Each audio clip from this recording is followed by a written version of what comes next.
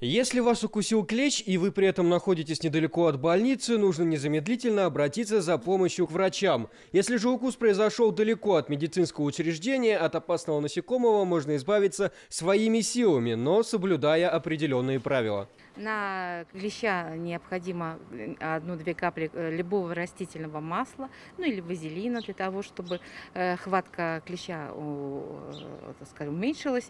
С помощью нити петли нити, нити около, близко к коже завязывается, и по часовой стрелке такими, скажем, такими вращающими э, движениями вытягивается. Но факт то, что он может клещ в это время оторваться, порваться.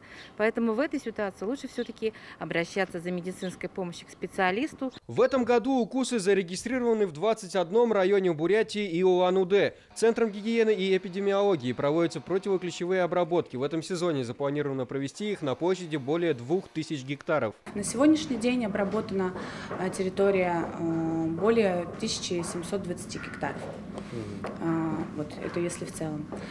А, также хочется сказать о том, что наиболее а, надежным и таким долговременным а, средством а, защиты против клещевого вирусного энцефалита являются, конечно же, профилактические прививки, которые можно э, делать круглогодично.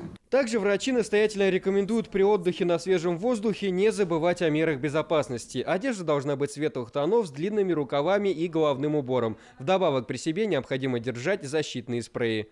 Андрей Слепнев, Вячеслав Батоев. Новости дня.